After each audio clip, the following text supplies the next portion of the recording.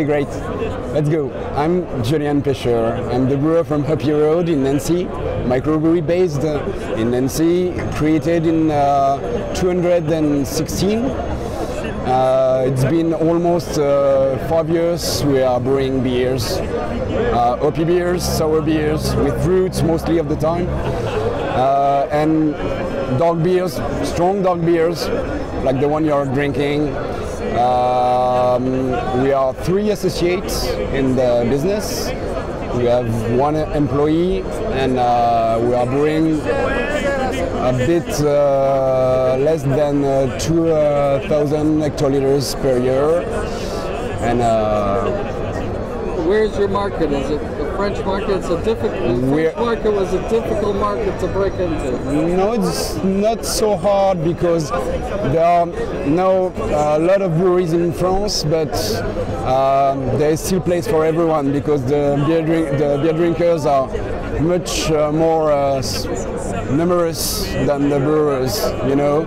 So uh, it's a it's a very nice uh, market for brew and sell beers and drink beers. I started the creation of the brewery with Lucas, my associate you saw, understand. Uh, we were in uh, reconversion, professional, professional reconversion, and uh, we uh, used to brew in my kitchen for, for years. And in uh, 215, we uh, yeah, 215, 2015, we uh, started thinking about create the brewery.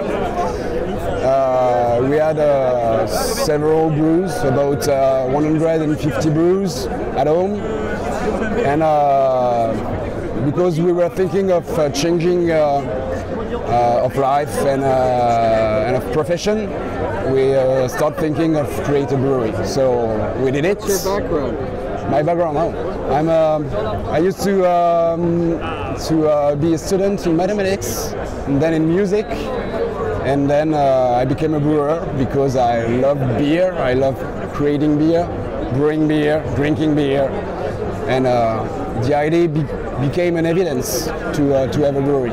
Now, what's your beers that you really love? I mean, I keep talking about the Mazout, but I'm a stout now. Yeah, yeah. what's We love Mazout too. Yeah, it's our most powerful beer, I think. Uh, it's a strong imperial stout, um, straight from the tank, or um, barrel aged in bourbon, in Islay, in Speyside, in rum. But we uh, brew uh, a lot of uh, other beers, like hoppy beers. We love to, uh, to brew IPAs, to drink IPAs. We love to brew sour beers, mostly German style, Berliner Weisse or Gose.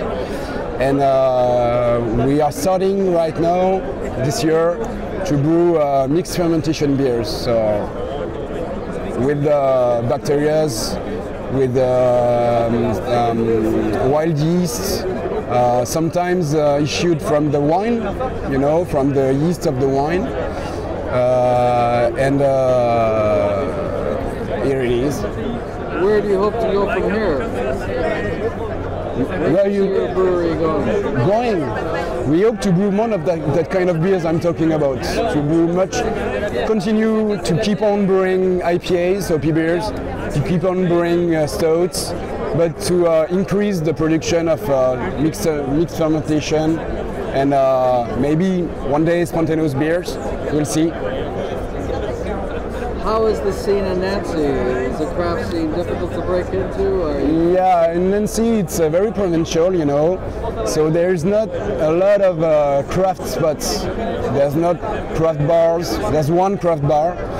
There's a very good uh, cellar, uh, craft cellar, which uh, exists since for 12 years now, I think, which is called La Capsule which I worked in in 2015. And uh, but in the bars, it's not very uh, developed. So uh, the, um, the the public in Nancy is not very familiar with that kind of beers, and our job is to promote that kind of beers to the, to these people.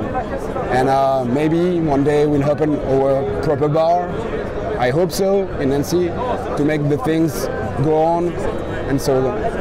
What percentage of your beers are going exported and what percentage of Uh, export is very small.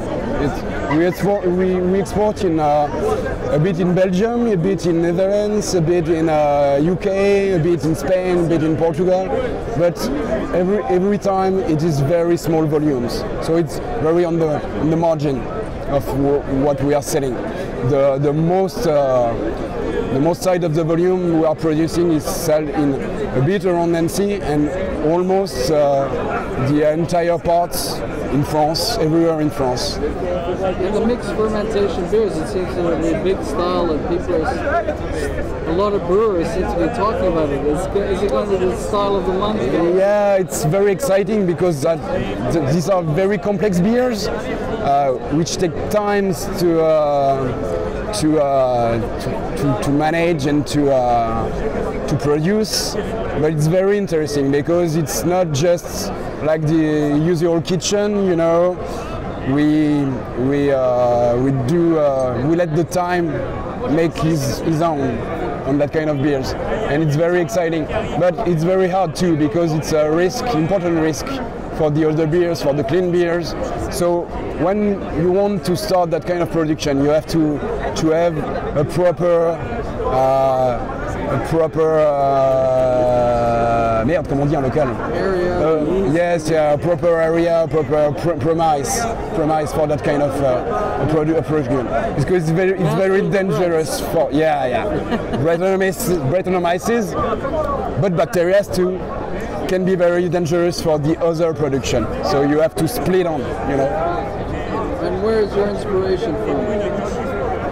from what we taste from other brewers, French brewers, or American brewers, or German brewers, or English brewers. It's always that kind of uh, inspiration, and and the wine is a big inspiration too. You know, nature wine, and what you can put from one plant, and all the the panel of aromas you can uh, you can have with just one ingredient. It's a very great inspiration for us. Thank you